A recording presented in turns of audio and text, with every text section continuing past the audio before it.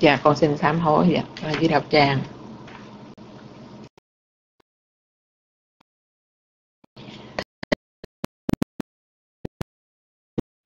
Đạo tràng, để đọc bài thỉnh pháp sư ạ.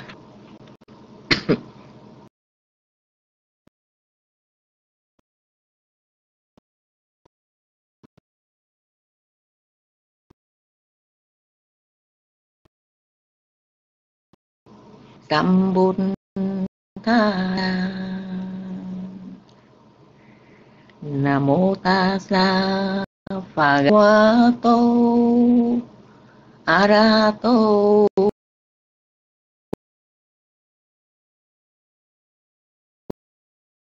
Sam Mô Namo tassa Bhagavato Arahato Samma Sambuddhasa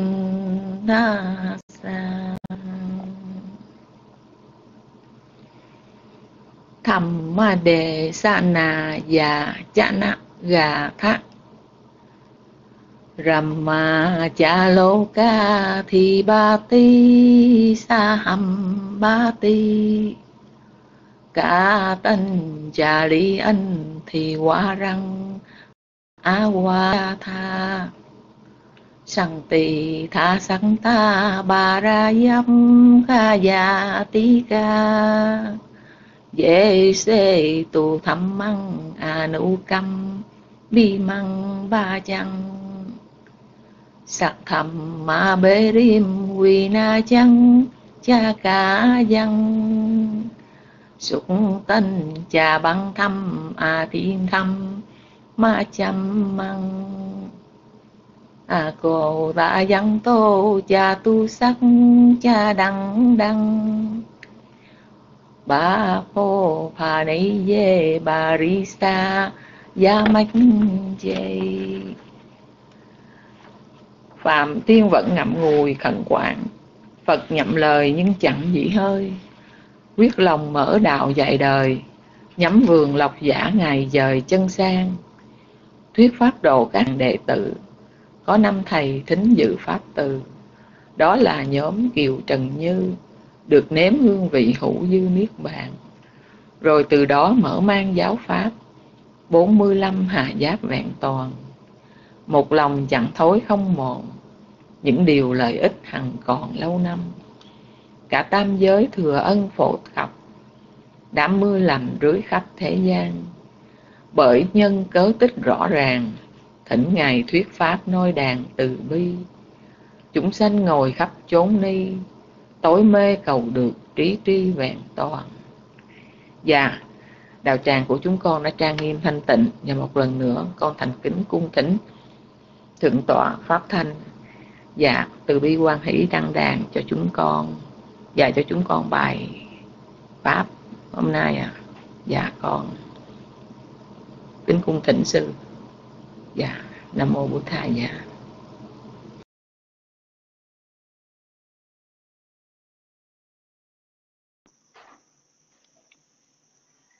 Nam mô bổn thầy dạ. Nam mô tham ma dạ. Nam mô sanh ca dạ. Dạ kính đảnh lễ chư tôn đức trưởng lão chư hòa thượng chư thượng tọa chư đại đức tăng. Dạ, hôm nay thì à, chúng ta học cái à, câu số 66 sa la thì à, hôm trước là nó có 11 phần. À, những cái phần nói về cái à, bất thiện à, phiền não tham sân si thì nó sẽ đưa đến cái à, khẩu nghiệp bất thiện thân nghiệp bất thiện à, và cái ý nghiệp bất thiện. Là khi mà có à, không tham không sân không si thì nó đưa đến là à, khẩu nghiệp thiện thân nghiệp thiện và ý nghiệp thiện. Hôm nay là còn hai cái phần cuối là phần kết luận à, của cái à, cái câu này. Bây giờ chị à, xin à, đọc à, phần chánh kinh. 12 như vậy này các sa la điều ta vừa nói với các ngươi chớ có tin vì nghe truyền thuyết. Chớ có tin vì theo truyền thống. Chớ có tin vì nghe người ta nói. Chớ có tin vì được kinh tạng truyền tụng. Chớ có tin vì nhân lý luận siêu hình. Chớ có tin vì đúng theo lập trường. Chớ có tin vì đánh giá hời hợp những dữ kiện. Chớ có tin vì phù hợp với định kiến. Chớ có tin vì xuất phát từ nơi có uy quyền. Chớ có tin vì vị sa môn là bậc đạo sư của mình. Nhưng này các sa la, khi nào tự mình biết hay sao? Các pháp này là thiện, các pháp này là không có tội. Các pháp này được các người trí tán thán. Các pháp này nếu được thực hiện, được chấp nhận, đưa đến hạnh phúc, an lạc. Thời này các sa la hãy chứng đạt và an trú đều đã được nói lên như vậy. Chính do nguyên nhân như vậy được nói lên. 13 này các sa la, vị thánh đệ tử nào ly tham, ly sân, ly si như vậy?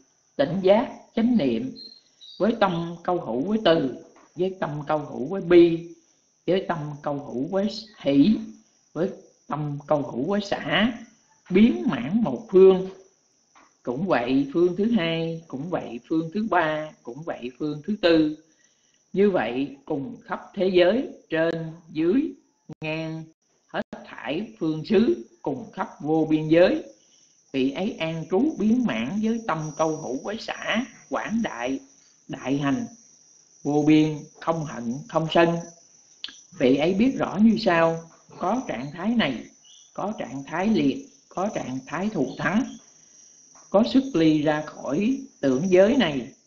Do vị ấy biết như vậy, thấy như vậy, tâm được giải thoát khỏi dục lậu. Tâm được giải thoát khỏi hữu lậu. Tâm được giải thoát khỏi vô minh lậu. Trong sự giải thoát trí khởi lên, ta được giải thoát, vị ấy biết, sanh đã tận, phạm hạnh đã thành, việc cần làm đã làm, không còn trở lui lại trạng thái này nữa vị ấy biết rõ như sau.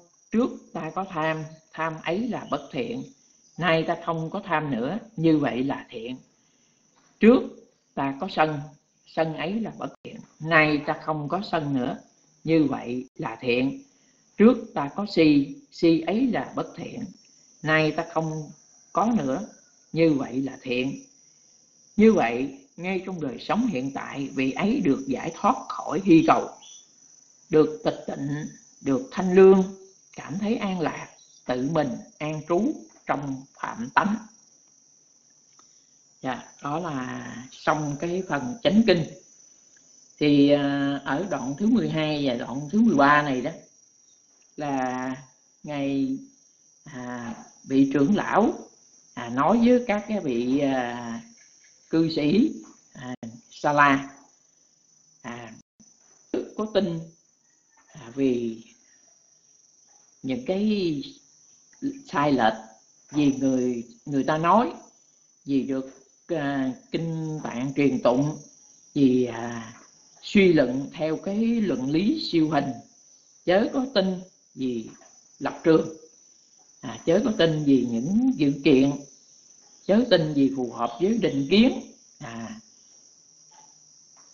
mình à, suy nghĩ cho là những cái cái niềm tin này do cái định kiến. À, như vậy là đúng. À, rồi chớ có tin gì á, là bị sự ép buộc của những người có chức quyền. À, mà khi mà các cái sự niềm tin của mình thì phải được kiểm chứng một cách rõ ràng. Tức là sau khi mà chúng ta đã à, thực hiện xem xét à, cẩn trọng à, trong thấy đó là những cái điều đúng à, những cái điều chân chánh hợp, hợp lẽ thì chúng ta sẽ sẽ tin theo và sẽ thực hành. Rồi nhờ cái sự thực hành à, lần hồi chúng ta có cái sự ly tham ly sân ly si à, hay là chúng ta dung bồi cái trí tuệ thì nhờ có cái sự à, tu tập chúng ta có sự chánh niệm tỉnh giác. À nhờ có cái hiểu biết cái tâm khi mà trí tuệ nó sanh khởi thì đẩy lùi tất cả những cái cái phiền não. À, do đó mà khi trí tuệ nó có mặt thì tham sân si không có mặt. À, nhờ vậy thì cái, cái tâm phát những cái cái à, trạng thái tâm tốt đẹp như là từ à, là sự thương xót tất cả chúng sanh. À, bi là cảm thấy à, thương xót với sự khổ đau của tất cả chúng quanh sanh. À, hỷ là vui mừng quan hỷ với cái sự thành lợi à, sự hạnh phúc an vui của chúng sanh khác. À, xã là tức là dù cho có những cái điều trái ý nghịch lòng à chúng ta biết là do do nhân do quả à hoặc là có những chúng sanh à, mà có những cái duyên nghiệp riêng à, thì bây giờ mỗi chúng sanh thì có nhiều duyên nghiệp riêng tùy theo cái nghiệp của mỗi chúng sanh. À, chúng ta không thể nào à, mà sửa đổi được với những cái nghiệp riêng của mỗi chúng sanh. Cho nên là chúng ta phải có tâm quân lên bình hành xã chấp nhận nhà thì nhờ như vậy đó cái tâm biến mãn ở đây là tức là à, mở rộng ra à, khắp tất cả phương trên dưới à, hướng đông hướng tây hướng nam hướng bắc à, rồi tất cả đối với à, muôn loại chúng sanh à, không có phân biệt à, biến mãn một cách rộng khắp vô cùng vô tận. À, thì như vậy đó chúng ta à, có cái tầm quảng đại à, quảng đại rộng lớn à, đại hành vô biên à, không hạnh không sân. À, rồi mỗi khi có cái à, trong tâm của mình nếu mà có những cái suy nghĩ nào à, nó không tốt đẹp à, tức là hạ liệt đó thì chúng ta biết rõ à, chúng ta dập tắt à, ngay những cái những cái suy nghĩ mà không không tốt đẹp à, suy nghĩ về à, tham suy nghĩ về sân à, suy suy nghĩ về làm tổn hại chúng sanh khác à, đó là những cái cái à, cái cái suy nghĩ những cái trạng thái tâm hạ liệt. Rồi khi mà trong tâm có cái à, cái suy nghĩ à, tốt đẹp như là suy nghĩ về phát triển các cái thiện pháp à, suy nghĩ về tu tập à, suy nghĩ về học kinh suy nghĩ nói lên những điều ly dục à, ly tham ly sân à, ly ác bất thiện pháp thì đó là những cái tâm à, tốt đẹp thù thắng. À, cho nên khi mà chúng ta biết như vậy thì chúng ta có cái sự tu tập. À, nếu chúng ta cố gắng tu tập theo cái cái con đường giới định tuệ ha là chúng ta à, tùy theo điều kiện thì chúng ta à, giữ gìn những cái giới à, không riêng về cái cái giới ở đây đó. À, không phải là chỉ là giữ cái à, những cái giới căn bản không. Ví dụ như người cư sĩ thì có thể giữ năm giới à, hoặc là tám giới. Thì đó là à, những cái cái giới căn bản. Rồi chúng ta còn phải à, thực hành thực hành các cái cái à, thập thiện như là bố thí à, rồi cung kính phục vụ thính pháp. À, để mà chúng ta phát triển những cái cái điều kiện. À, chính những cái cái điều kiện này đó nó giúp cho cái cái giới được à, vững vàng. Thì khi mà khi mà muốn giữ gìn cái giới rồi chúng ta phải luôn luôn kiểm soát về cái à, tam nghiệp thân nghiệp khẩu nghiệp ý nghiệp hay là à, có luôn luôn có chánh ngữ. À, chánh nghiệp chánh mạng. À, rồi từ cái từ cái cố gắng lúc đầu chúng ta cố gắng ngăn ngừa gìn giữ à, để phát triển cho cái cái giới à, nó được cao quý à, tốt đẹp thì cái cái vị hành giả đó phải cố gắng nỗ lực tất cả à, trong cái sinh hoạt trong đời sống. À, bất cứ lúc nào khi đi khi đứng khi ngồi khi nằm. À luôn luôn mình gìn giữ kiểm soát cái cái ý nghiệp của mình cái suy nghĩ của mình. À, không bao giờ để cho bất cứ một cái sát na phiền não nào nó nó nó chèn vô nó sanh khởi lên. Thì như vậy đó chúng ta quân tập thường xuyên làm cho, luôn luôn có sự hiểu biết ghi nhận một cách tốt đẹp mà phiền não không có cơ hội để sanh lên. À, gìn giữ trọn vẹn cái à, cái tâm của mình. Như vậy thì gọi là đạt đến cái tăng thượng giới.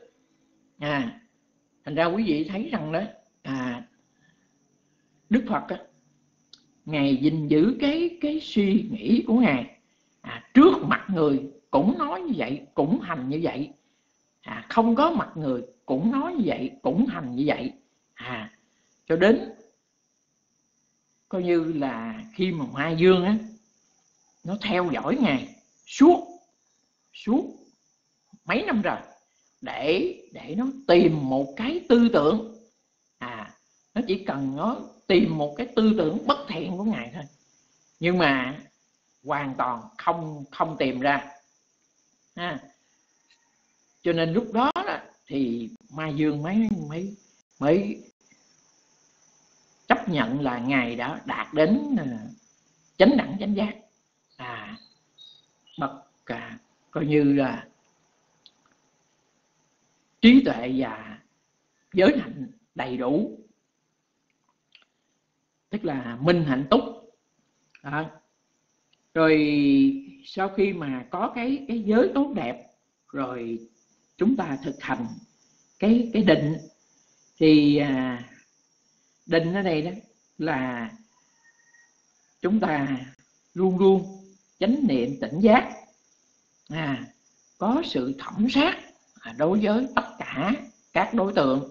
À, hiểu rõ đối tượng à, với cái tính chất của chân đế à, thấy với trí tuệ thấy đối tượng à, qua cái tam tướng là luôn luôn biến đổi sanh diệt à, rồi luôn luôn nó là đi theo cái định lực nhân quả à, rồi chúng ta chỉ quan sát hay biết ghi nhận nó rõ ràng à, chứ chúng ta không thể nào mà mà can thiệp à, sửa đổi hay là bắt buộc đối tượng phải diễn biến giống như cái cái ý muốn của mình.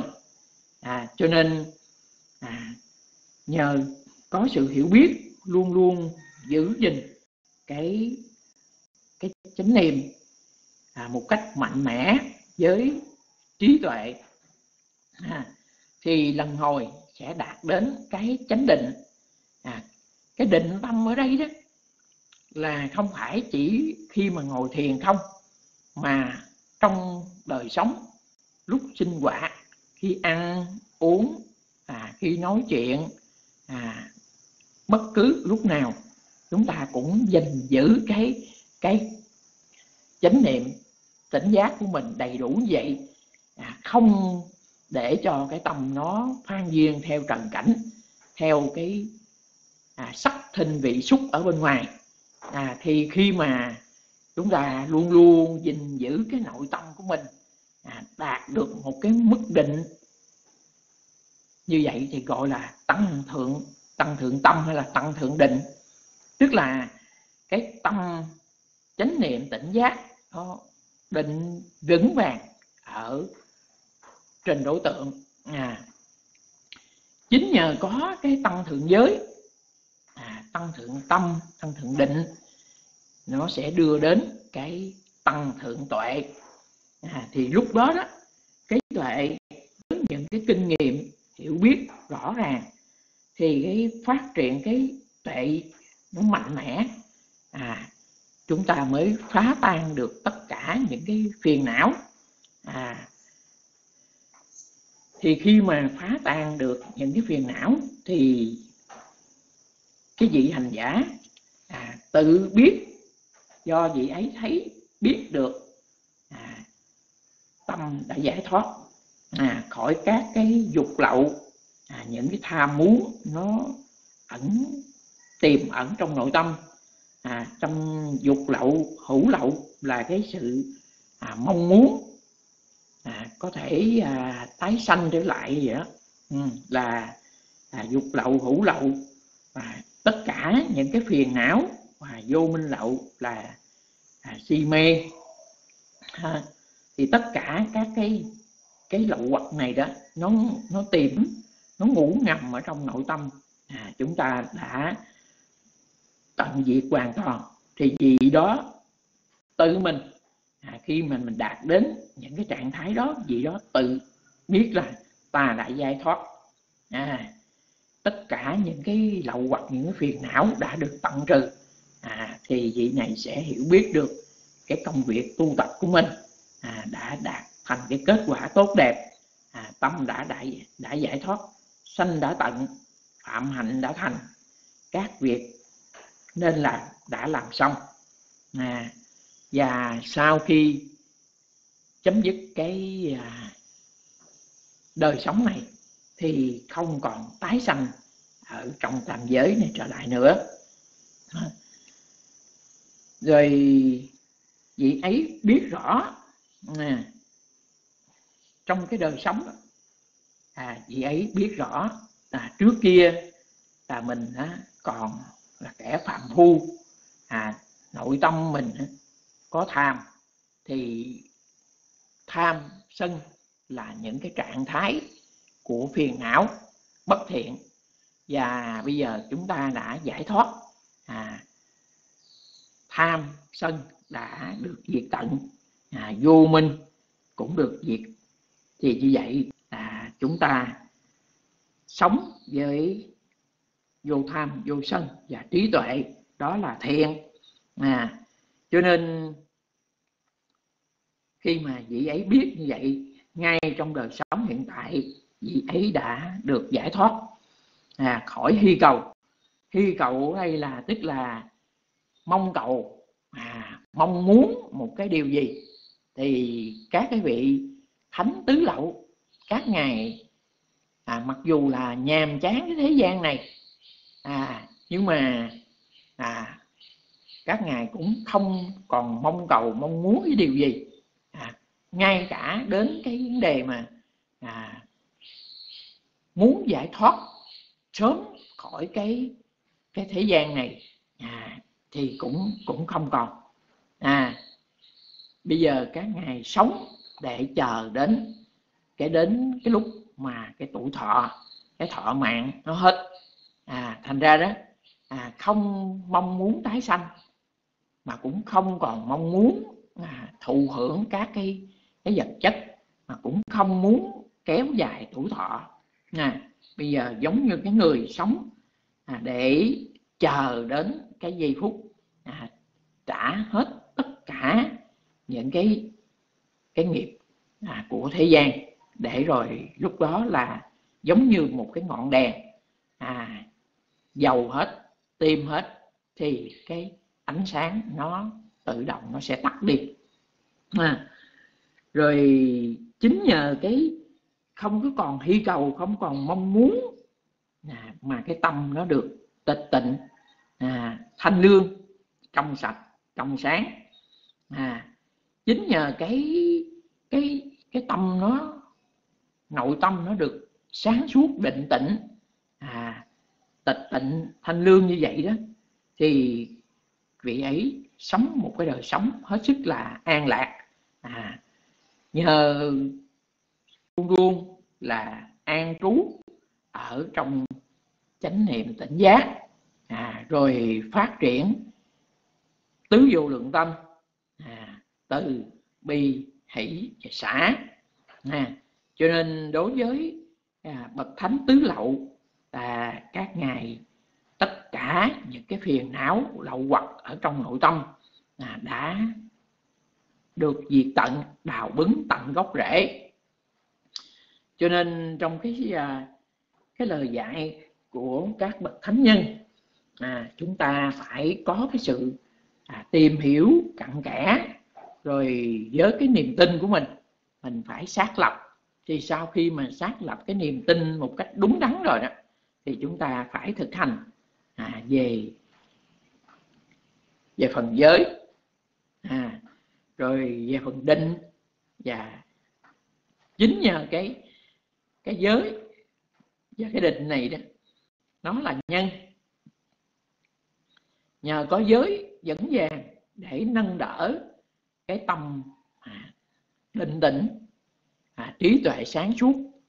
À, chính nhờ cái cái nền tảng như vậy rồi nỗ lực phát triển à, đạt đến à, các cái tuệ minh sát à, từ thấp đến cao.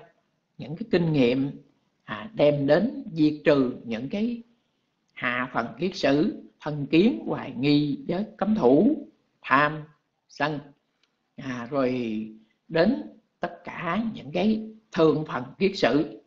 À, khi mà đào bứng tất cả những cái phiền não những cái thằng thúc à, những cái truyền phước à, những cái truyền cái à, thì nội tâm được à, sáng suốt định tĩnh à, một cách à, tịch tịnh thanh lương. À, vị ấy có một cái đời sống an à, an trú trong phạm hạnh của mình. À, mà tất cả những cái cái sự tu tập này đấy à, chính là cái tính chất của pháp bảo. À cái thực hành giáo pháp thì cái người nào đó mình thực hành à, tùy theo cái điều kiện à, của mỗi người do cái pháp độ do cái kinh nghiệm do cái trí tuệ à, khi mà chúng ta thực hành chúng ta chứng đạt à, những cái thánh bậc thánh cấp ở ở cấp nào thì mình biết cấp đó. Ví dụ như một cái vị thánh chứng đắc niết bàn lần thứ nhất hay là à, sơ đạo sơ quả à, còn gọi là tu đầu quờ thì vị này đã diệt được à, thân kiến hoài nghi với cấm thủ. Rồi vị tu đầu quờ tư đà hàm thì sẽ diệt thêm được làm giảm nhẹ à, tham sân ở ở phần thô thiển. Và khi mà đạt đến a hàm thì diệt được năm cái hạ phần thận kiến hoài nghi với cấm thủ tham và sân. À, rồi nếu vị này có sự cố gắng nỗ lực à, phát triển đầy đủ cái nội tâm của mình à, và các pháp độ à, để đạt đến à, tăng thượng giới tăng thượng tâm à, đưa đến đạt được cái tăng thượng tuệ à, là cái tuệ giác cao tột à, đủ sức để tận trừ tất cả các cái phiền não hay là các cái thượng phần kiết sử. À, thì muốn như vậy thì chị này phải tạo trữ đầy đủ các cái pháp độ. Rồi phải có cái sự nỗ lực à, tu tập à, trong một cái đời sống hiện tại. Ừ, nỗ lực không ngừng à, luôn luôn giữ cái tâm chánh niệm tỉnh giác à, sáng suốt định tĩnh. Rồi chuyên cần à, trong các pháp hành à, đầy đủ trên cái con đường giới định. À, nhờ có sự nỗ lực mạnh mẽ à, như vậy đó mới đạt đến cái tệ giác và đủ sức để phá tan à, diệt trừ à, tất cả các cái lậu hoặc à, ừ, thoát khỏi được dục lậu hữu lậu à, vô minh lậu. À, đây là những cái cái phiền não mà nó nó tiềm ẩn ẩn tàng ngủ ngầm ở trong cái nội tâm chúng ta. À, do đó những cái người mà phật tử sơ cơ đó tại sao mà chúng ta tu tập mà chúng ta thấy à, mình mình cứ bị những cái phiền não nó tấn công. Tại vì á những cái này á nó rất là mạnh. À nó nằm ở trong nội tâm chúng ta. À, lâu ngày từ thôi từ thời vô thủy giờ nó ẩn tàng à, nó ngâm tẩm nhuộm úp à, cái, cái cái cái cái cái tâm của chúng ta. À, vì vô minh chúng ta cứ nghĩ à, là à, những cái này à, những cái suy nghĩ này à, là tốt đẹp. Nhưng mà sự thật ra à, những cái suy nghĩ này là gì? Toàn là những cái tham lam. À, nghĩ những cái điều xấu xa tội lỗi. À mình chỉ muốn à, lợi mình à, mà bất chấp những cái hậu quả gây khổ đau à, tổn hại cho những chúng sanh khác. À, nhưng mà mình à, hồi lúc đó vì vô minh nó thúc đẩy à, mình nghĩ à, những cái quyền lợi những cái riêng tư hay là hoặc là những cái cái ngã mạng à, cống cao à, mình cứ muốn những cái cái gì mình cũng phải tốt đẹp hơn. À, cái à, cái lợi lộc mình phải phải trội hơn.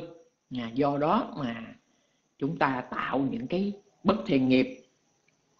Khi mà chúng ta tu tập nhận thức được à, và nhờ cái sự cố gắng nỗ lực chúng ta tận trừ tất cả những cái cái lậu hoặc những cái phiền não này à, làm cho cái tâm nó sáng suốt định tĩnh. À, chính nhờ cái giải thoát ra được những cái cái phiền não này mà tâm trở nên à, sáng suốt tịch tịnh thanh lương à, an lạc. À, và vị này sống à, những ngày cuối cùng và sau khi chấm dứt tuổi thọ à, thì không còn tái sanh lại trên cõi đời này nữa. À, đó là cái lời dạy à, của cái vị trưởng lão đối với à, các cái vị cư sĩ. À, mà đây là cái vị cư sĩ này là Sala à, đã đến à, hỏi và cái vị à, trưởng lão này đã giải đáp à, và nhắc nhở à, những cái người cận sự nam cận sự nữ à, phải thực hành theo cái lời dạy đó. Mà không riêng gì à, vị trưởng lão này mà lời dạy của Đức Phật cũng như tất cả các bậc thánh à, đều à, đi lên cái con đường à, thực hành giới định tuệ à, diệt trừ tham sân si à, phát triển vô tham vô sân vô si hay là phát triển à, tứ vô lượng tâm à, tâm từ tâm bi mỹ tâm xã biến mãn cùng khắp à, trong nội tâm cũng như hướng đến tất cả những chúng sanh à, những thân bằng huyết thuộc hoặc là những cái chúng sanh ở gần mình. À, những chúng sanh à, trong cái tam giới này. À, rồi nhờ có cái cái sự tu tập à, à, giữ cái nội tâm sáng suốt định tĩnh à, với sự à, thẩm sát. À, tất cả các đối tượng thấy đúng với tính chất chân đế. À, lân hồi tất cả những cái cái phiền não là dính mắc chấp thủ và nó đã bị diệt tận. Và các vị này à, đạt đến cái trạng thái an lược an lạc. À, vị này biết ta được giải thoát rồi sanh đã tận phạm hạnh đã thành các việc cần làm đã làm xong. À, sau khi à, cái thân ngũ quẩn này à, chấm dứt thì sẽ không còn tái sanh lại trên thế gian này nữa. À, đó là cái mục đích đó là những cái lời dạy của đức phật cũng như à, chư thánh thinh văn. À, những người cận sự nam cận sự nữ à, muốn thực hành để đạt đến một cái trạng thái an vui à, thì phải thực hành à, ngay trong đời sống hiện tại này à, và à, không chỉ là khi mà chúng ta thực hành thì tùy theo tùy theo cái mức độ chúng ta thực hành mà nó sẽ có cái sự an lạc à, không có chờ tới kiếp sau à, khi mà quý vị gìn giữ có cái tâm từ tức là mình mong muốn cho mình à, luôn luôn tránh khỏi những cái điều quan trái à, sống à, có một cái đời sống an vui. Mình mong muốn cho mình mà mình cũng mong muốn cho tất cả những người xung quanh. Thì như vậy đó khi mà mình phát triển cái cái cái từ tâm này đó thì à, ngay lúc đó là quý vị có được sự an lạc à, chứ không có đợi là tới tới ngày sau. À, không phải đợi tới chính đắc các cái tầng thiền thì mới được an lạc. À, mà ngay khi mà chúng ta có cái cái tác ý à, cầu mong cho bản thân mình tránh khỏi những cái điều quan trái à, tránh khỏi những khổ đau đau đớn của bệnh tật à, thì như vậy đó là cái nội tâm quý vị đã được mát mẻ và cầu mong cho tất cả à, những chúng sanh khác cũng được mát mẻ an vui. Thì nhờ mình mình phát triển cái nội tâm của chính mình rồi mình đem cái sự an vui mát mẻ đó mình hướng đến à, giúp cho những chúng sanh à, thân bằng quyến thuộc ở quanh mình à, cũng được an vui. Khi mà chúng ta sống với cái tâm từ à, thì với trí tuệ với cái tâm mà mát mẻ an vui thì chúng ta sẽ làm lợi ích à, cho chính mình và làm lợi ích cho những người khác. À, nói những cái lời nói tốt đẹp rồi thực hành những cái điều tốt đẹp à, lợi mình lợi người. À, không gây tổn hại khổ đau à, không nói những cái lời à, làm cho chúng sanh khác phải phải đau khổ. À, cho nên à, tất cả những cái thiện pháp à, hay là những cái cái à, tứ vô lượng tâm khi mà chúng ta thực hành à, thì nó sẽ đem đến cái lợi ích an vui à, ngay trong đời sống hiện tại.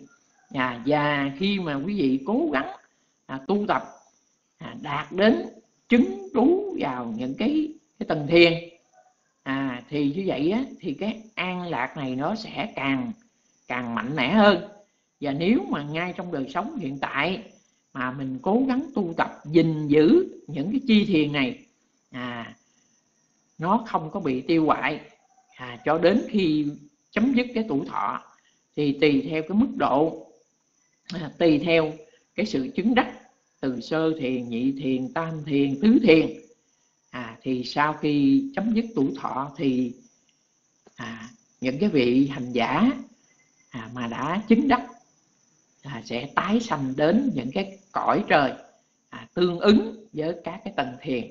À, nhưng mà chúng ta chỉ là à,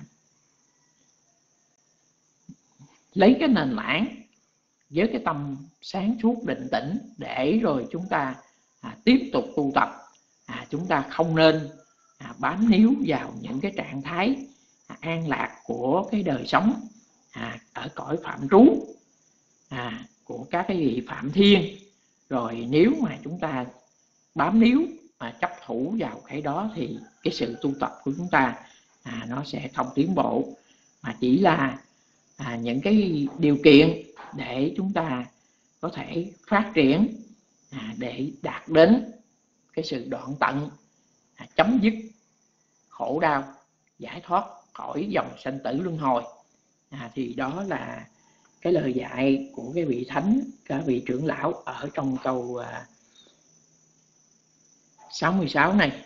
Thì à, qua phần chánh kinh rồi cũng dựa theo các cái à, phần giảng dạy chú giải của các vị trưởng lão à, cũng có chút ít những cái hiểu biết. Cũng xin chia sẻ với quý vị. Với phước báo này thì kính cầu mong chư tôn đức trưởng lão chư hòa thượng chư thượng tọa à, chư đại đức tăng à, cầu mong các ngài pháp thể can ngang và kính chúc quý phật tử cũng như à, quý tu nữ à, có thêm được những cái hiểu biết những kinh nghiệm để à, cùng nỗ lực tu tập đem đến một cái đời sống hiện tại an vui và hướng đến à, con đường chấm dứt khổ đau giải thoát khỏi dòng sinh tử luân hồi. À, cầu mong tất cả quý vị luôn luôn à, có sự nỗ lực à, đầy đủ đạt đến một cái trạng thái an lạc trong đời sống. À, cầu mong tất cả chúng sanh an vui hạnh phúc. Và ngày mai thì à, cũng có công việc phải à, đi về với à, chùa Pháp Bảo. Cho nên thì à, ngày mai đó thì à, cũng xin à, để Đức Thanh Tâm quan hỷ hướng dẫn cho đạo tràng à, tu tập, học hỏi à, trong ngày mai. À, ngày mai chị xin phép vắng mặt cầu mong tất cả trong đạo tràng sinh hoạt, an vui, tạo được nhiều lợi lạc tốt đẹp. Nó mũ bút thầy giá.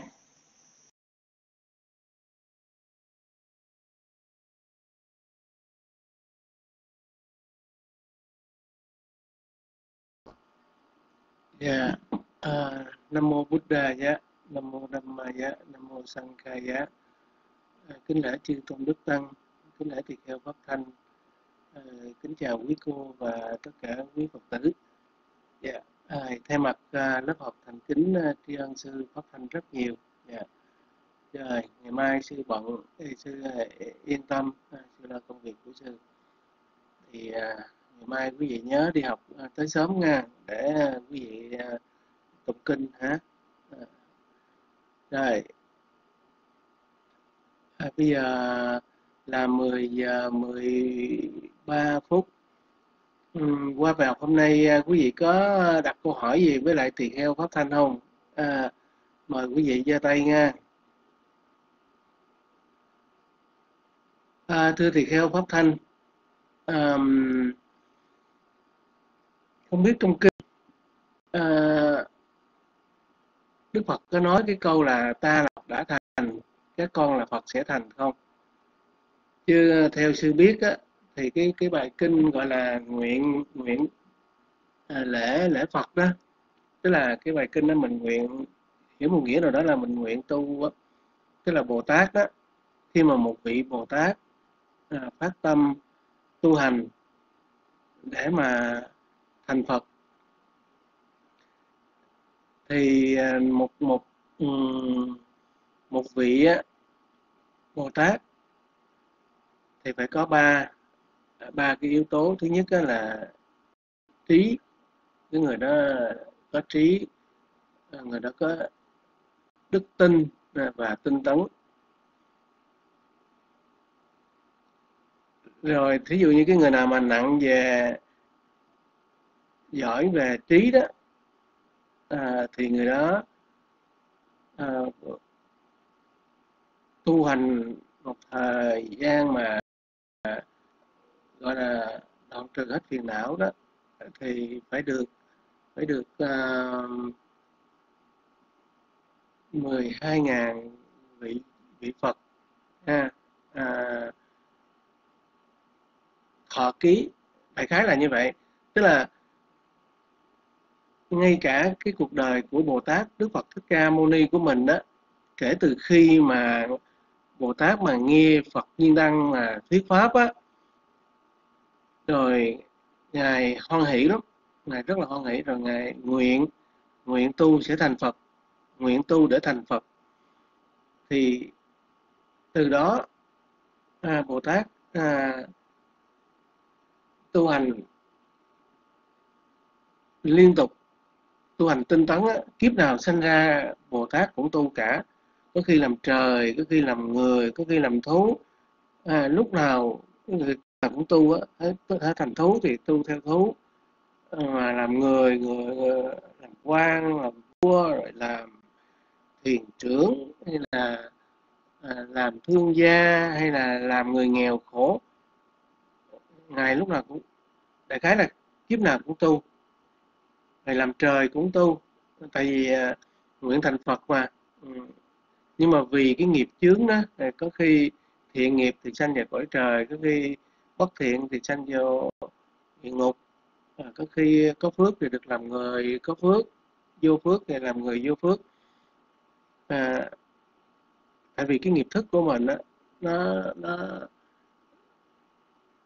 nó ẩn ẩn ở trong cái cái nghiệp của mình đó, nó gọi là pha quan ra đó à, nghiệp tàn thức đó. cho nên không có dễ gì thì tu một một một đời một kiếp mà đoạn hết được tham sân si đâu quý vị nha cho nên cuộc đời của đạo sĩ Sumato mà khi mà tu mà thành thành Phật chính đẳng chính giác trở thành Phật Thích Ca Mâu Ni đó là ngài tu qua bốn a tăng tỳ kiếp và một trăm ngàn đại kiếp rất rất rất là lâu vậy. Mỗi kiếp đó, đoạn trừ được một chút xíu phiền não một chút xíu thôi nghe dễ gì đâu đó là ngài là bậc trí tuệ đó. Chứ còn những người mà nặng về tinh tấn hay đức tin thì còn lâu nữa. Ừ. thì à,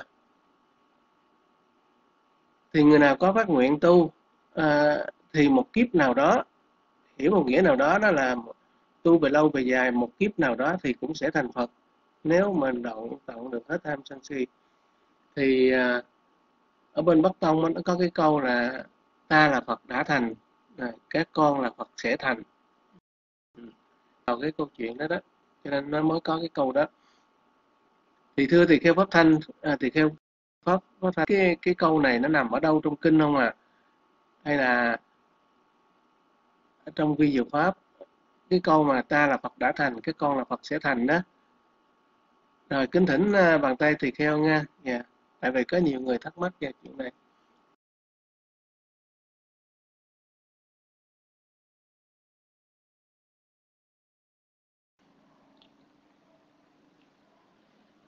Nam mô bút thà giá nam mô tham ma giá nam mô sằng thà giá và kính lên lễ chư tôn đức trưởng lão.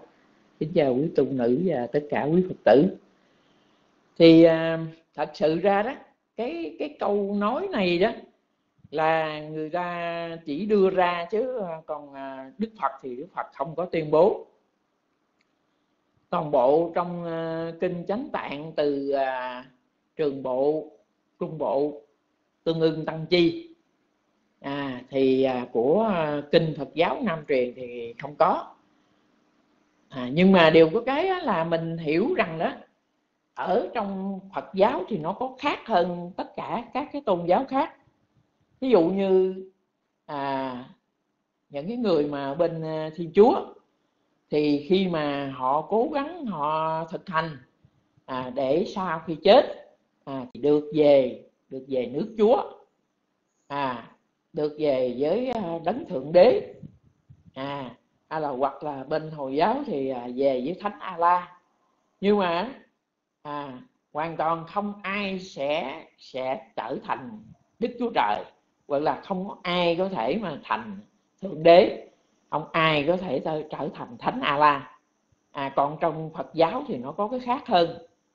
Tức là nếu mà chúng ta cố gắng kiên trì tu tập à, nhiều đời nhiều kiếp à, thì chúng ta cũng sẽ trở thành Phật nhưng mà nó có mức độ khác nhau. Ví dụ như cái à, à, cao nhất là bậc chánh đẳng chánh giác à, thì phải đầy đủ 30 pháp độ. À, ba la mật. Còn hoặc là những cái bậc à, thượng thủ sinh văn và Phật độc giác thì phải là 20 pháp độ. À, còn những cái vị những cái vị à, thinh văn hay là a la hán bình thường à, thì chỉ cần cố gắng nỗ lực tu tập à 10 pháp độ à. Thành ra đó mặc dù cũng là cũng là phật nhưng mà nó cao thấp khác nhau. À nhưng mà cái cái cái giải thoát là nó vẫn giống nhau. Tức là đoạn trừ tất cả các phiền não. À, nhưng mà những cái người mà có cái nguyện vọng ví dụ như trở thành thượng thủ thinh văn hoặc là à, trong cái thời kỳ mà không có bậc chánh đẳng chánh giác ra đời là Phật độc giác thì phải thực hành cái cái pháp nó cao hơn.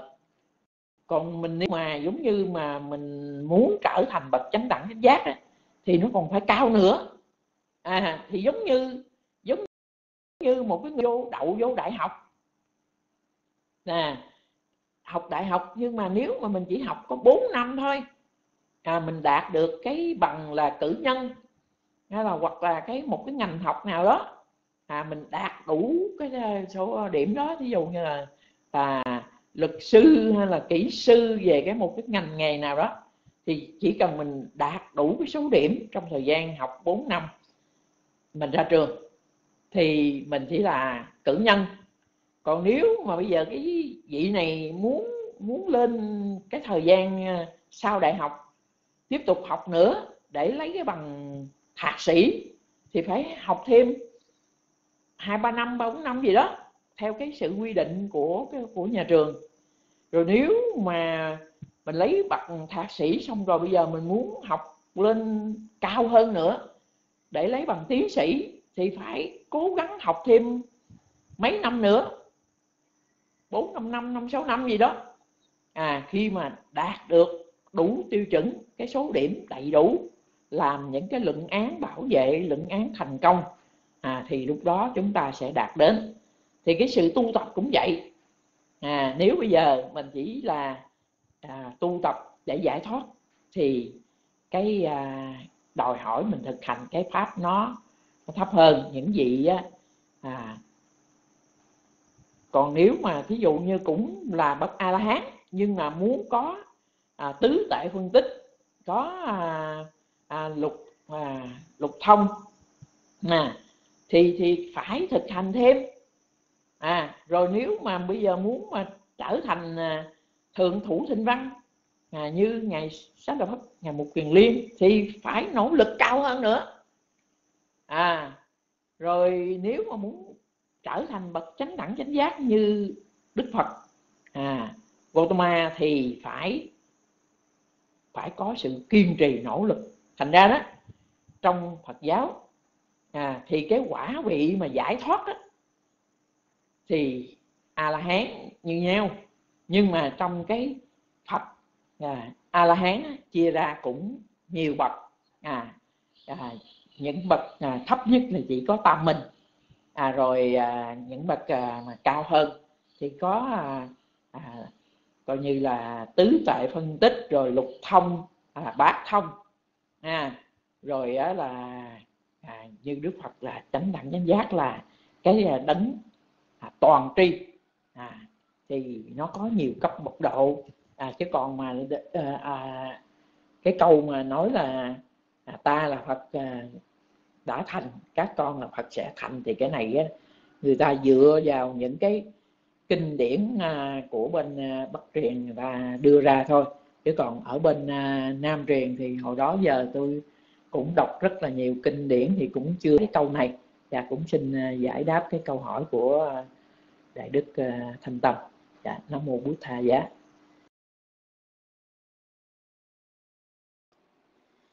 Dạ. yeah, mô phật à, thay mặt lớp học à, sa thú sa thú cảm ơn sư phát thanh rất nhiều dạ yeah, thưa quý vị quý vị à,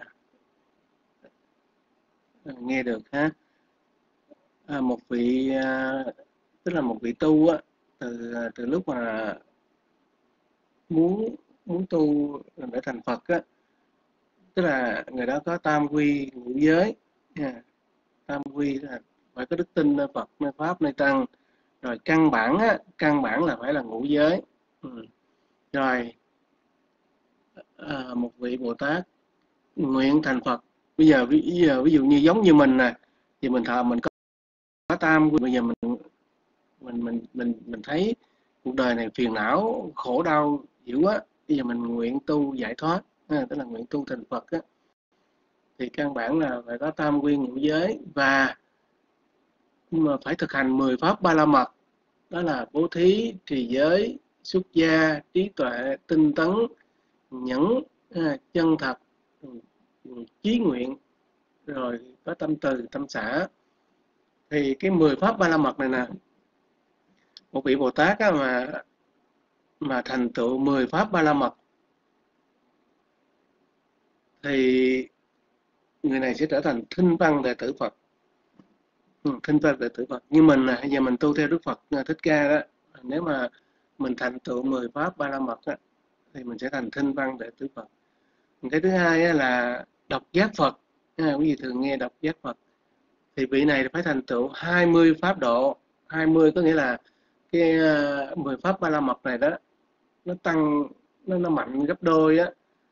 Ví dụ bây giờ bố thí nha mà bố thí bậc bậc bậc hạ đó là là mình có thể mình cho ra à, mình chia sẻ những gì mình mình à, mình dư ha. Mình không xài hoặc là mình rảnh. À, bố thí về tài vật nè bố thí về công sức nè bố thí trí tuệ nè. Nhưng mà cái bậc thứ hai á là người ta bố thí mạnh hơn. Ví dụ như cái cái gì mà mình đang dùng á mình đang có đó mình đang xài đó mà người ta hỏi người ta xin hay là người ta cần là mình mình mình phải cho à, mình phải cho. Thì thì mình mới thành tựu được cái, cái, cái pháp bố thí của mình. Rồi cái bậc bậc bậc thứ ba đó là bố thí luôn cả những cái phần thân của mình. À, ví dụ Phật à, ví dụ như à, Bồ Tát á, trước khi thành Phật á, có khi ngày tu ở trong rừng á, ngày thấy những cái cảnh mà con thú mà nó con cọp nó đói nó tại vì nó bị rớt xuống hang á nó đói. Nếu mà nó đói mà một bầy con nó đó không có sữa thì con nó sẽ chết. Cho nên Bồ Tát á, phải cho cái thân này cho nó nhảy xuống cho chết thì một con cọp á, ăn cái sân này để cho nó có sữa nó nuôi con nó mạnh khỏe thoát ra khỏi được cái hang đó. Đó thì thì bố thí nó có ba bậc như vậy. Thì trì giới cũng vậy ha trì giới nó cũng có ba bậc. À, giới thô và giới vi tế và giới hoàn hảo. Thì xuất gia cũng vậy ha, ví dụ như xuất gia phật tử thì lâu lâu đi chùa một lần ở trong chùa một vài ngày chẳng hạn. Thì đó cũng là xuất gia nhưng mà xuất gia tạm thời thôi. Còn có những hạng thứ hai là xuất gia dư duyên là tu một thời gian nào đó 3 tháng 6 tháng một năm chẳng hạn. Rồi mà cái bậc mà xuất gia thứ ba đó là xuất gia luôn ha, nguyện tu suốt đời này. Đời này không xong nguyện tu đời sau luôn. Đó ba bậc như vậy đó. Thì thì thì người nào mà thành tựu 30 pháp như vậy đó thì người đó là là bậc chánh đẳng chánh giác thì tới đây thì quý vị nhớ ha có ba điều như vậy. Phật A La Hán là thanh văn đệ tử Phật thành tựu 10 pháp ba la mật thứ hai là 20 pháp độ đó là độc giác Phật. Thứ ba là 30 pháp độ đó là Phật chánh đẳng chánh giác. Thì một vị Bồ Tát quý vị nhớ à, có ba cái điều đó là thứ nhất là trí tuệ thứ hai là đức tin à, à, cái thứ ba là tinh tấn. Đó. Ví dụ như ờ, đức phật thích ca mình nè. À, khi còn là bồ tát đó, ngài mạnh về trí tuệ. Đồng ý dĩ nhiên là ba cái nó phải đi chung nhau nhưng mà một người nó có một cái mạnh mạnh hơn. Ví dụ có người mạnh về trí là có người tu nhưng mà ta, ta mạnh hơn về tinh tấn ha. có người ta mạnh hơn về đức tin đó gì đấy coi cái điều này hay lắm. Gì đấy gì đi chùa vì thấy người nào mà tu mà mạnh về đức tin là mình biết liền à. Chú cha cho chùa lại uh, niệm phật rồi à. trong đó có cái sự sinh nữa à, à, có đức tin nơi phật á người ta bậy gì nó là bậy gì mình cũng làm theo hết á. Rồi cái bậc thứ hai á là gì thấy có người họ tinh tấn. Ừ, họ vô chùa họ tinh tấn lắm. À, làm vô thí hay là trì giới nhẫn họ cũng tinh tấn dữ lắm. À, nhưng mà mạnh về cái tinh tấn. Còn bậc thứ ba là trí tuệ. À, trí tuệ thì họ, họ, họ vô chùa đó là học kinh họ nghiên cứu kinh rồi họ hành thiền. Cái gì họ không biết họ hiểu họ không hiểu họ hỏi ha đó.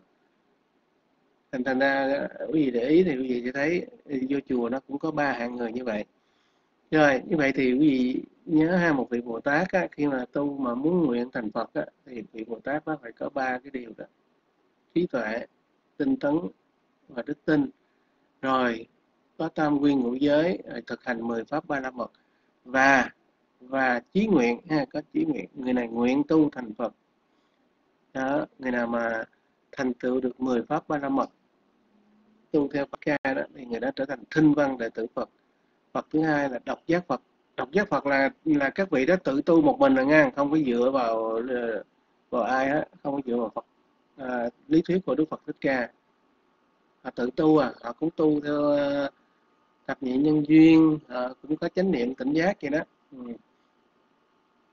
nhưng mà tự tự họ còn cái thứ ba đó là Phật Thích Ca. Đâu xin lỗi Phật bậc chánh đẳng chánh giác đó, là phải thành tựu 10 pháp ba la mật Dạ, yeah, cảm ơn tỳ kheo ờ, uh, phát thanh rất nhiều. À, kính thưa quý vị, bây giờ là 10 giờ 32 phút rồi. Bây giờ mời quý vị uh, ngồi tĩnh tâm 5 phút nha, 5 phút. À, chánh niệm tỉnh giác. Niệm thân, niệm tâm, à, niệm thân, niệm tâm. À, đầu tiên là mình trở về với cái vị trí của mình. À, thì mình đang ngồi, ngồi ngay ngắn, ngồi ngay thẳng, hoặc là mình nằm mình biết mình đang nằm nằm. Biết rõ tay chân đầu mình đang nằm. Nó đụng ở đâu mình biết. Rồi mình trở về với hơi thở. Cái đầu tiên là hít vào biết. Hít vào thở ra biết. Thở ra. Hít thở.